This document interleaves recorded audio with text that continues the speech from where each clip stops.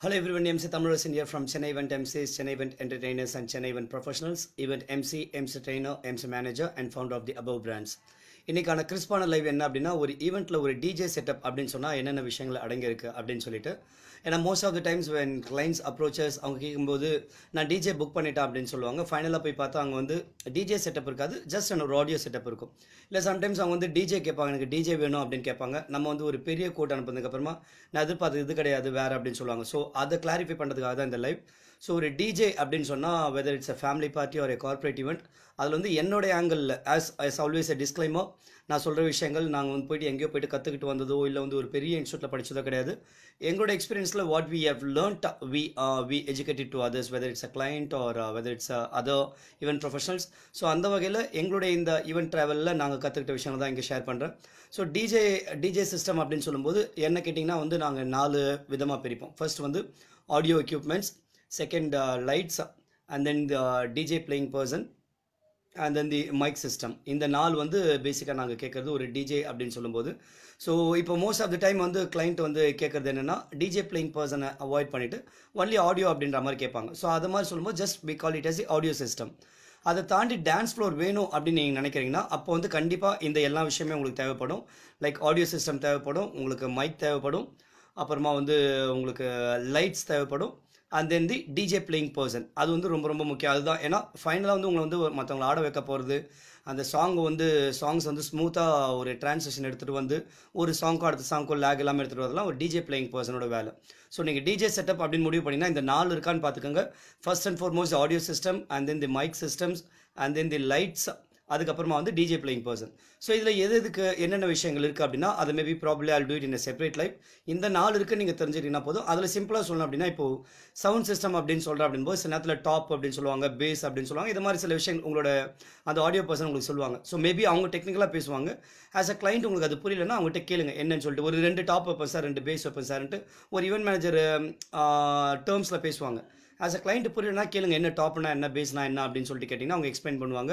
அந்த ஹாலுக்கு எத்தனை ஸ்பீக்கர் தேவைப்படும் அப்படின்ற அது வந்து ரொம்ப ரொம்ப முக்கியம்.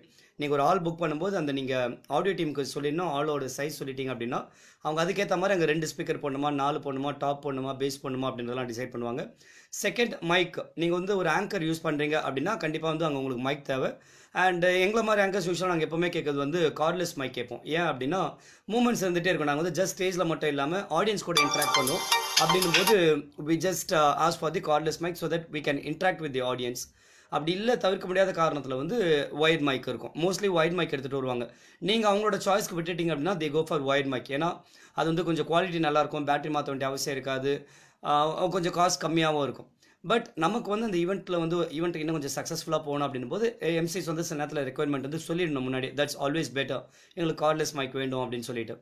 Third minute come for lights லைட்ஸில் அகே நிறைய விஷயங்கள் இருக்குது பார்க் அண்ட் லைட்ஸ் வாங்க டிஸ்கோ லைட்ஸ் வாங்க இன்னும் நிறைய விதமான லைட்ஸ் போகும் இது வந்து நம்ம டெக்னிக்கலாக தெரிஞ்சுக்கணுன்ற அவசியம் இல்லை கிளைண்ட்டை பொறுத்த வரைக்கும். உங்களுக்கு நான் டான்ஸ் ஃப்ளோர் வேணும் எனக்கு டான்ஸ் ஆட போகிறோம் அதுக்கேற்ற லைட்ஸ் எடுத்துருவாங்கன்னு சொன்னீங்கன்னா அந்த ஸ்டேஜ் சைஸ் அந்த ரூம் சைஸ்க்கு ஏற்ற மாதிரி வந்து audio team they will be bringing it and fourth is the DJ playing person அவங்க தான் ஆக்சுவலாக எக்ஸாக்டாக டிஜேன்னு சொல்லணும் அவங்க தான். மற்றதெல்லாம் வந்து பார்த்தீங்கன்னா ஆடியோ அண்ட் சவுண்ட் சிஸ்டம் தான் தவிர டிஜேன்னு சொன்னால் it's called as the disc jockey இந்த மியூசிக் ப்ளே பண்ணுறவங்க அவங்க தான்.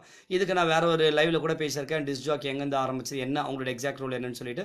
இந்த ஈவெண்ட் அப்படின்னும் போது உங்களுக்கான அந்த மியூசிக் ப்ளே பண்ணுறவங்க அவங்க தான் டிஸ்க் ஜாக்கி ஸோ இந்த நாளும் கலந்தது தான் வந்து உங்களுக்கான ஒரு audio setup and DJ system whether it's a family party or a corporate event so as a client இல்லை as an event manager or as a DJ or audio person இதை வந்து எல்லாருமே ஒன்றா சிங்கில் இருக்கீங்களான்னு பார்த்துக்கோங்க ஏன்னா ஒரு ஒரு கிளைண்ட்டிட்ட கேட்டு கேட்டுக்க தப்பில்லை. அவங்க டிஜே புக் பண்ணிட்டேன்னு சொல்கிறாங்கன்னா நீங்கள் இதெல்லாம் புக் பண்ணிட்டேன் ஃபார் எக்ஸாம்பிள் எனக்கு எந்த கிளைண்ட் சொன்னாலும் நான் உங்களுக்கு வந்து ரிட்டர்ன் அனுப்புவேன். டிஜேல வந்து இந்த நாலு விஷயங்கள் இருக்குது இது எல்லாமே பண்ணிட்டீங்களா? இல்லை ஒன்லி சவுண்ட் பண்ணியிருக்கீங்களா இல்லை சவுண்ட் அண்ட் மைக் பண்ணியிருக்கீங்களா அப்படின்னு சொல்லி கேட்கும்போது ஒன்லி தென் தி ரியலைஸ் இப்போ டிஜே சைட் போகும்போது அவங்களுக்கு பார்த்தீங்கன்னா டிஜே மிக்சர்லாம் வரும். அது வந்து மேபி அவுட் ஆஃப் கான்டெக்ட் நான் வேறு லைவில் பேசுகிறேன் அந்த டிஜே மிக்சர் டிஜே எடுத்துகிட்டு வராங்களோ ஆடியோ டீமில் இருக்கா அப்படின்னு சொல்லிட்டு.